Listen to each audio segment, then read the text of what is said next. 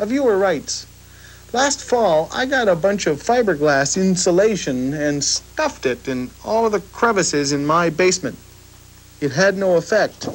What's wrong? Chili, Dundas, Ontario. Well, Chili, stuffing fiberglass insulation in the cracks had an effect, uh, just not the one you had in mind. The cold air that's sneaking into your basement is now cleaner. What you really wanted was an air barrier. You installed an air filter. Fiberglass insulation isn't warm on its own. It's designed to fill the airspace in a wall. When the outside wall is cool and the inside wall is warm, air touching the inside wall warms and rises.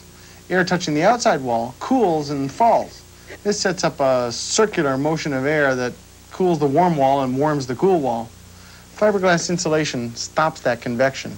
Any warm air that does reach the cool surface would give up its moisture, the same as breathing on a cold window. So the wall assembly has a vapor barrier installed on the warm side to keep the household humidity from entering and rotting the wall.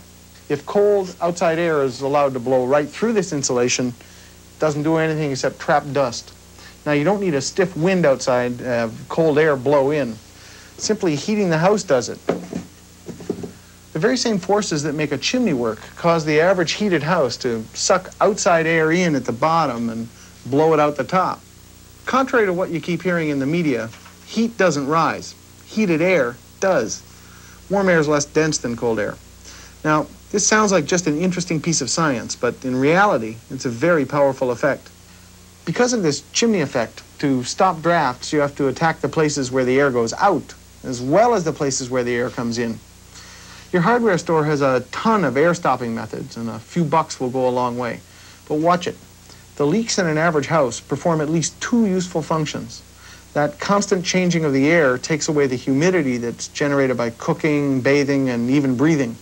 A well-sealed house will grow mushrooms on the walls if you don't make provisions. The other thing provided by the leaks is often combustion air for the furnace. If you plan to go wild sealing every single crack in the house, get some advice from a heating expert so that you don't accidentally asphyxiate yourself.